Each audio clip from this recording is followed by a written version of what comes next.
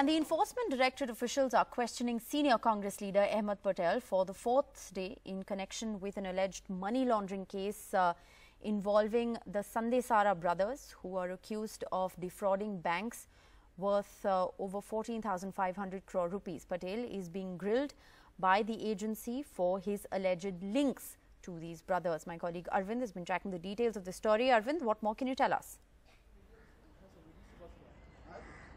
Tishika, the Enforcement Directorate is questioning senior Congress leader Ahmed Patel for the fourth time in connection with an alleged money laundering probe uh, related to uh, Sandesara brothers. In fact, both the Sandesara brothers, both Chetan, uh, Chetan Sandesara and also Nitin Sandesara, both of them are accused of uh, cheating uh, banks to the tune of somewhere around 14,500 crore.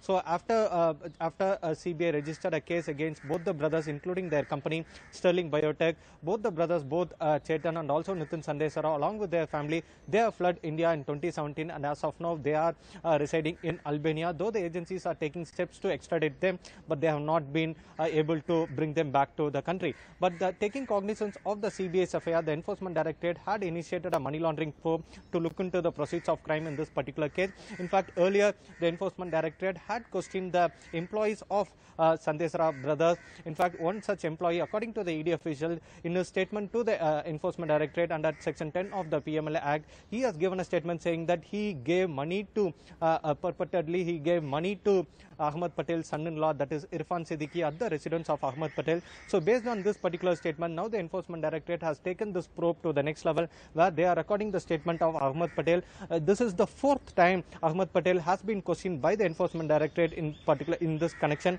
uh, in this connection in this case. In fact, earlier in the previous time, in the third day of questioning, after the 10 hours of over 10 hours of questioning, in fact, Ahmed Patel also gave a statement saying that he has answered all the 128 questions of the Enforcement Directorate and he has called this probe as a political vendetta.